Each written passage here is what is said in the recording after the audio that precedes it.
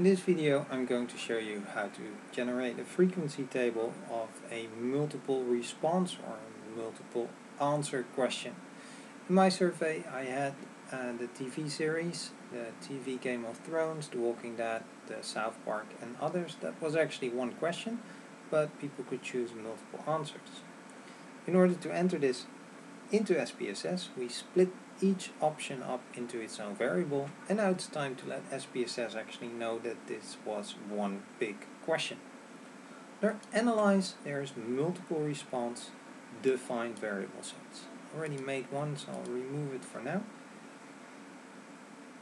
These are the variables that formed one multiple response question.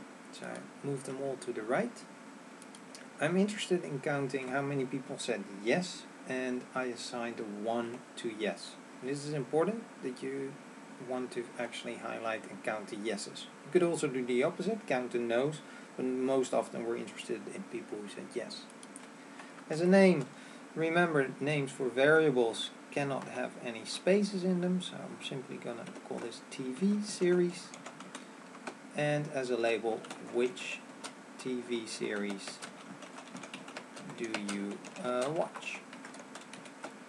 I can then add this and oddly enough when I hit close nothing really happens.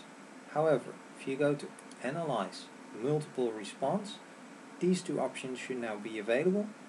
Frequencies I move my new multiple response set to the right and I click on OK and I now nicely get a output frequency table my multiple answer question.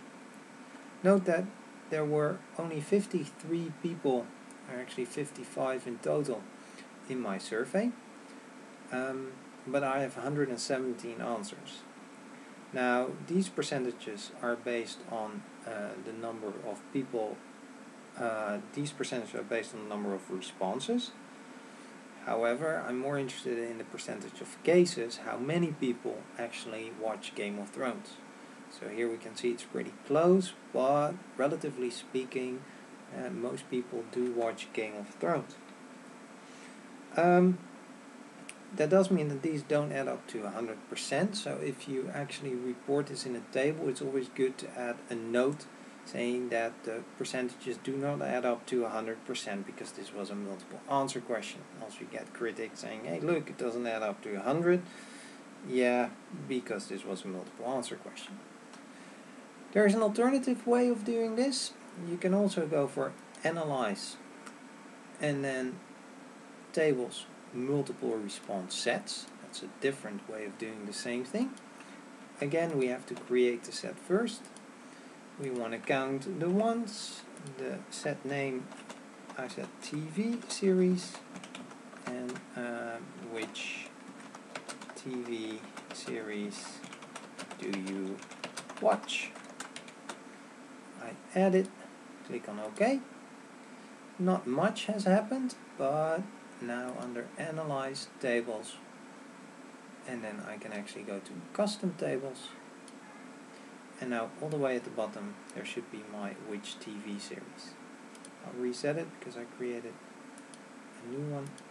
I move this one up to the right, I click on OK, and I nicely get the 31, the 30, 28, and 28. So these numbers actually match. Small downside is that these multiple response sets often disappear when you close SPSS. If you really insist on keeping them, there is a way to use so-called syntax. Um, when you then create the frequency tables, you hit paste and you then actually get something like this. This is a code that you can save and every time when you need the set you can then simply run this code again and it will actually create the set for you. Okay, that was it.